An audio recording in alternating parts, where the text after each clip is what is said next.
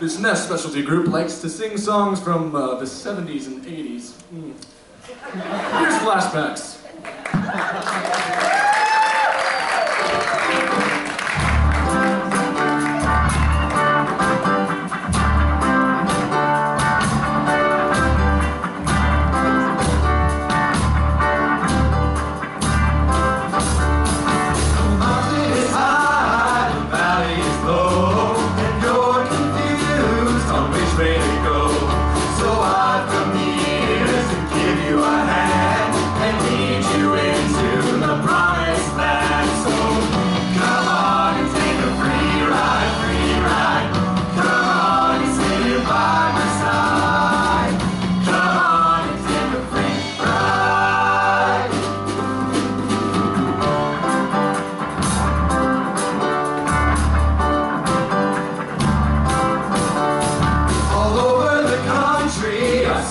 say.